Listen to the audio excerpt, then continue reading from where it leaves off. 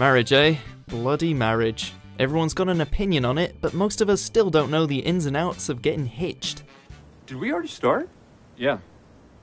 Oh. Sorry, I thought there was supposed to be a buzzer or a whistle or something. Welcome to WatchMojo's Top 5 Myths, the series that finds the biggest myths that people actually believe and dispels them one by one. In today's installment, we're counting down the 5 myths about tying the knot that had us saying, I don't.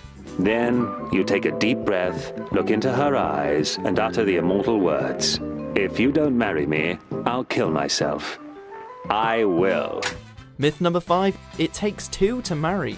You know, I am so romantic sometimes I think I should just marry myself. Give me a break, Mike. What a night of romance I got ahead of me. Getting married is all about connecting with that special someone. That person could be a man, a woman, or even yourself. Wait, what? That's right, self marriage is a thing. I'm not crazy, Frank. I am making a statement that if need be, I will marry myself. And I am not embarrassed. It is the union between a person and themselves and can be a reflection of a number of personal beliefs. I'm getting married.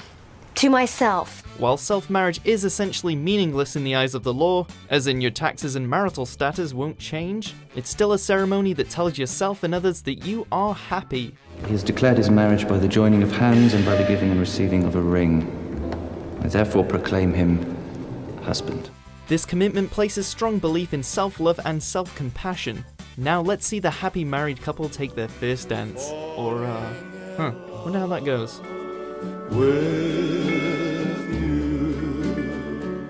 Myth number four the more educated a woman becomes, the less likely she is to get married. She's too old for him.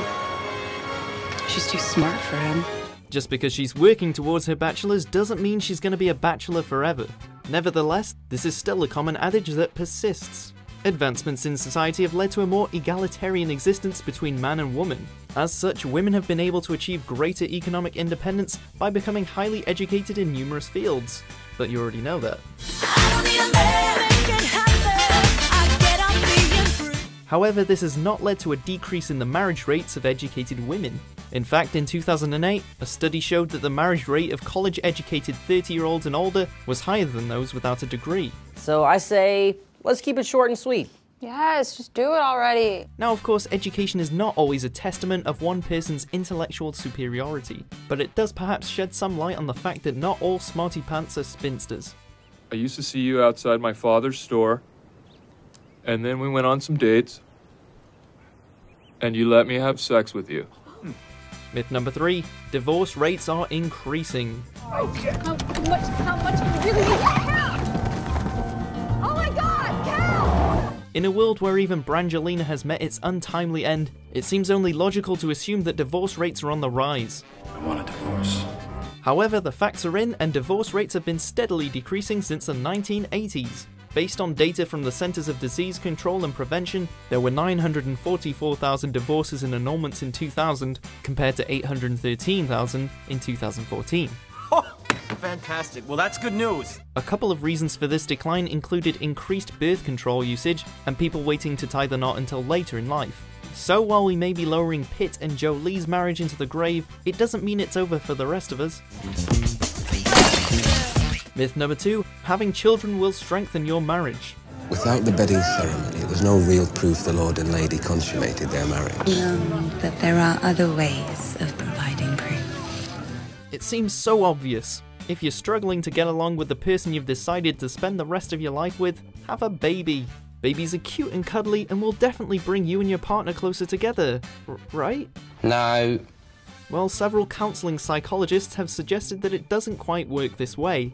Though a baby can bring a new chapter into your marriage, with it comes more responsibilities. And basically, if you and your significant other are already at each other's throats all the time, introducing a child into the mix isn't going to make things easier. I've had to sacrifice my job, my body, my youth, my vagina. Sacrificed your Yes, vagina? it will never look the same after this. Myth number one married people have less satisfying sex lives and less sex than single people. My husband started drinking those giant sodas and he's gained 100 pounds in three months. Consequently, we haven't had sex in 10 years. I, I thought you said he gained weight in the last three months. Well, we have lots of other problems. Everyone has encountered this myth before. The day you get married is the day your sex life evaporates. And Marissa. Do it. However, this simply isn't the case. Health experts have concluded that married couples actually have more varied sex, as they're more comfortable around one another. A 2010 study at Indiana University discovered that around 61% of singles that were interviewed hadn't had sex within the past year, comparable to only 18% of married people who took part. And then a wheel a laugh. High five. So rejoice, the married life ahead of you could be a particularly fruitful one. Do you, Lucy, take Ricky to be your husband? Oh, for f- sakes! So, how many of these myths did you believe?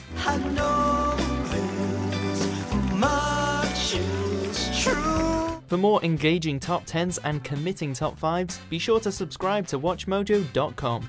Stephen, do you promise to love Emily in sickness and health for as long as you both shall live? My dad already paid the caterer.